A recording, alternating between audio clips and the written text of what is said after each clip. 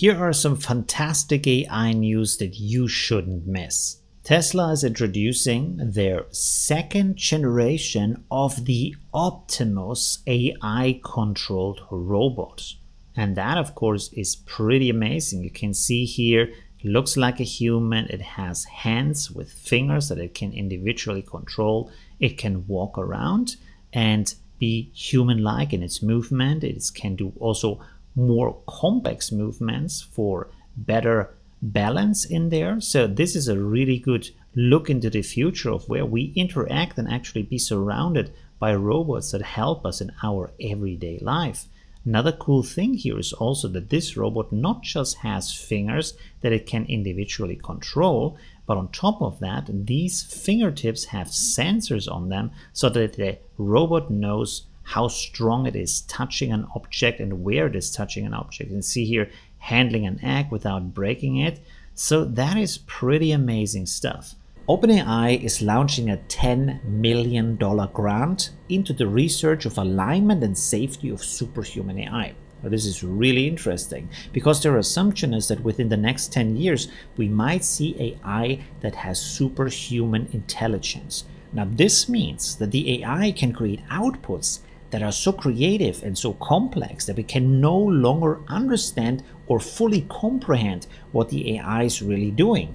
Even today, AI is so complex that we often see it as a black box where we don't really know how it arrives at these results. So in the future, the AI, for example, can create very complex computer code that's 1 million lines long and we're not being able to test it if it might be dangerous to run this kind of code. So one of the concepts here would be to create other AIs that be able to test the output of these superhuman AIs to give us feedback if this output is safe to run. Runway is starting a new research project and they call it General World Models. Now their concept is, instead of training an AI just on language or training an AI just on images, they want to use a lot of different media formats, a lot of different information, also video, also audio. And this is not just to be able to create different media formats. The main idea here is that the AI has an understanding of the full environment. Now, imagine, for example, here a language model. It can create a story for you based on the prediction of what is happening next in the text. But you can't do the same thing at the moment with video. And that's a problem because in a video you have a lot of very complex connections, interactions, causalities between the different actors, objects, and the environment. So when you want to create a movie based on the AI input, the AI needs to be able to understand all of this complexity and the environment. It basically needs to be able to simulate the actions inside of an environment. And that is the idea here really interesting concept. I can't wait to see where this research is leading. Resemble AI is releasing an open source model to enhance audio, and they have a very interesting video here. Let's listen to that for a bit. Furthermore, the man who computed the consequences even, even may have been the same one that made the guesses, may have made some mistake in the analysis. Those are obvious remarks. So when I say if it disagrees with the experiment, it's wrong, I mean... After the experiment has been checked, the calculations have been checked, the things that love... I have to say that the result is pretty impressive, even though in this example I have to say that the sound of the voice is pretty different from the original sound, so it's kind of removing also a little bit the characteristic of that person, but nonetheless, the result is very impressive because you can now understand the text a lot clearer, so that is really good. Now this is on a GitHub page and when you scroll down here, it gives you here some forms of installation on how you can actually run this on your own computer. So this is pretty cool. But they also have a web demo they can use by clicking on this link. This web demo is running on Hugging Face. As you can see here, you can drop an audio file in here and then just test the result. Over here, you have the output that is denoised and then you also have an output that is enhanced.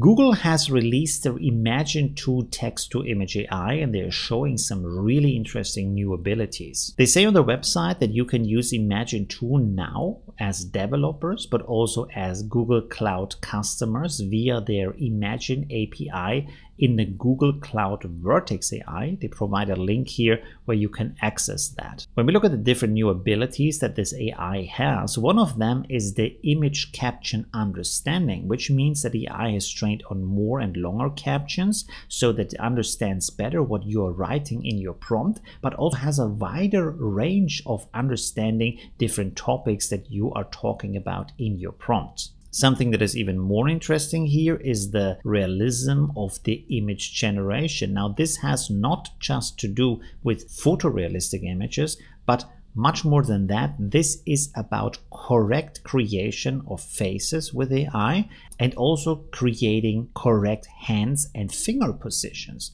Here you can see some examples where a hand is holding chopsticks. That's a fairly complex position of a hand. And then also two hands conducting music with beautiful and interesting finger poses. Another thing that this will solve is that there should be less problems and artifacts in the image generation itself. Also, they have here something they call fluid style conditioning. Now, what this is, is that you can use input images similar to how the IP adapter works and then combine them with the text prompt to create new designs and images in a similar style. And another thing they're adding here is advanced in painting and out painting. They show some very nice results here on how this can work and also how complex these results can be. Here we have a crazy news. An AI made from living human brain cells can perform speech recognition. So it can recognize the voice of a person out of hundreds of other voices.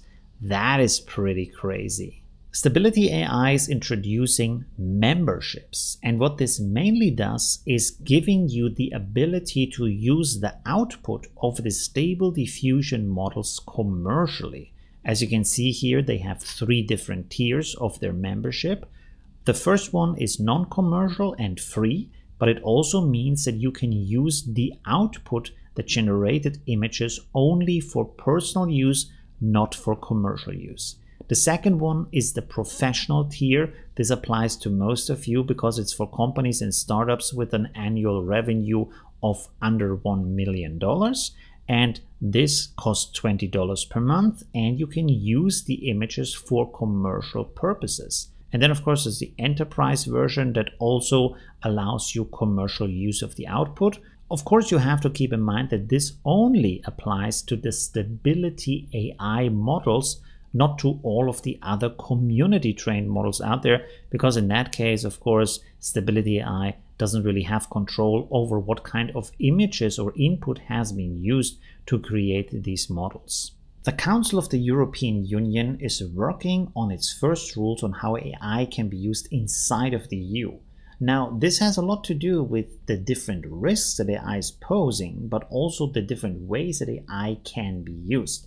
For example, high risk AIs have to give a lot more transparency about how they pose risks, but also who was involved in training these AIs. Even for low risk AIs, there has to be a marking that identifies the output as AI generated output so that the consumers have an understanding and can make their own decision based on really knowing this is not the real thing, this is AI generated. On top of that, they have a lot of rules around how AI can be used.